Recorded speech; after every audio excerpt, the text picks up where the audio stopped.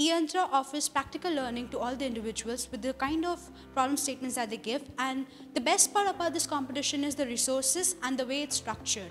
So starting from stage zero to stage four, there's a development as an engineer when you start from the basic task and you know make a full prototype of the bot. When I started reading the theory about the line sensors and servos and all those things, there's something called as data sheets from which we learn everything, but we need to check that practically to be sure that it works.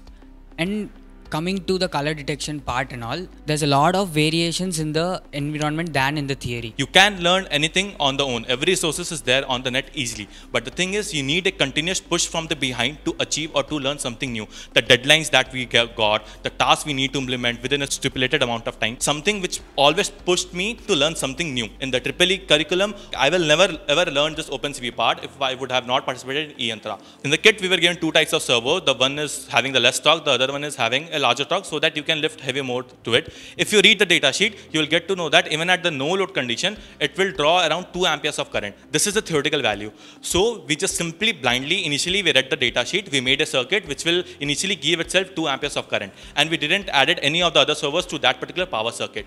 But then we got shortage of power. Then we thought, okay, we should first check how much current actually in the practical case it's drawing. So then we tested it and it was just around 200 milliamperes, even though it's on the no load. So there is a large difference between the theoretical value, which is 2 amperes, and the practical value, which is just a 200 milliamperes. The picking up mechanism, you can simply give the command, but it might not work. You will simply get depressed that it's not working. We should not uh, go ahead with it. But then uh, we tried, we continuously tried, we gave lot of hit and trials, we recorded everything, we again saw that video, what happened wrong at that particular point of time, we moved back, then again uh, rectified our code and then again implemented it and finally everything got sorted and everything worked out. Before participating to eYantra, my interest was only towards the web development and the embedded coding. But now after participating in eYantra, I got to learn this Python as I said earlier as well as the image processing. So eYantra is a platform where student can actually this just not restrict themselves towards some sort of their likings, but they can also explore various fields depending on the theme which they will get and they will practice on that theme